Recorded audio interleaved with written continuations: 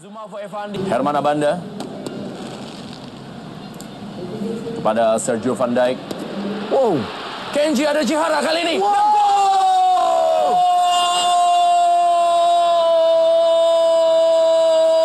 dan masuk di sudut kiri gawang. Ya ini dia satu kesalahan sebenarnya. Kita lihat Ismet terlepas dan bam tendangan begitu keras masuk ke sudut kiri gawang dari Adiksi Lenzivio. Gol pertama bagi Persib Bandung dicetak oleh Kenji ada Ciara. Gol keempat bagi Kenji. Masih bola Sergio Van Dijk. Masih Sergio Van Dijk. Belum mendapatkan kesempatan untuk melakukan tendangan langsung Sergio Van Dijk.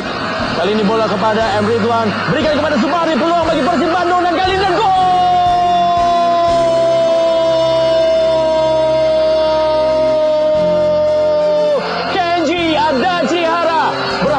Memecahkan. Ridwan kontrol bola Supardi bergerak dari blindside tanpa terkawal memberikan crossing dan Kenji tinggal menyergap.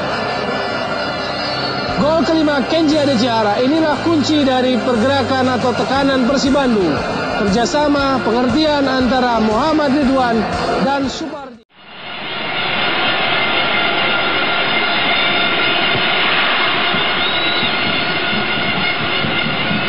Sergio Van Dijk berikan bola kepada Kenji ada Chihara dan kita lihat sebuah umpan dari Sergio Dijk Kenji disuruh ke sangat sempit. Heading yang sangat baik dari seorang Sergio Dijk ke daerah. Bam kembali. Tendangan yang sangat keras. Akhirnya merubah skor menjadi 3-1 bagi tuan rumah Maung Bandung. gol keenam bagi Kenji ada Chihara dan sebenarnya kalau kita melihat ini hampir sama dengan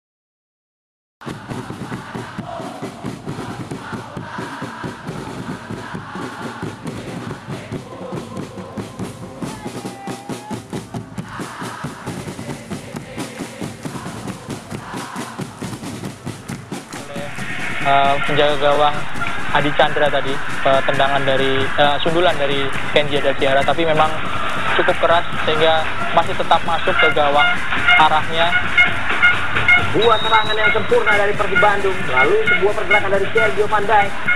Berikan back pass tadi kepada Supardi yang meneruskan sebuah crossing kepada Kenji Adesha. Mencoba crossing dari Tony Sucipto dipotong oleh Haryono. Iya, kita saksikan Bung.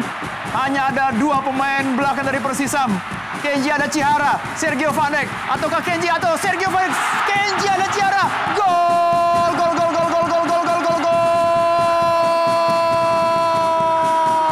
Selesai sudah Bung pertandingan pada sore hari ini. Saya rasa kemenangan mutlak dimiliki oleh Persib Maung Bandung. belum mampu untuk bisa membobol gawang Perseus Genzi. balik Persib Bandung coba menekan Dijk lepaskan sebuah umpan M. Ridwan dituju dan Kenji Adachiara masuk Kenji menggenapkan keunggulan Dua pergantian pemain yang dilakukan oleh Kejagang Nur Zaman terbukti membuahkan hasil. Kita saksikan proses gol yang terjadi dari Persib Bandung. Kita saksikan bagaimana ketidakegoisan seorang M. Ridwan melihat posisi dari Kenji Adachiara berdiri bebas. Dan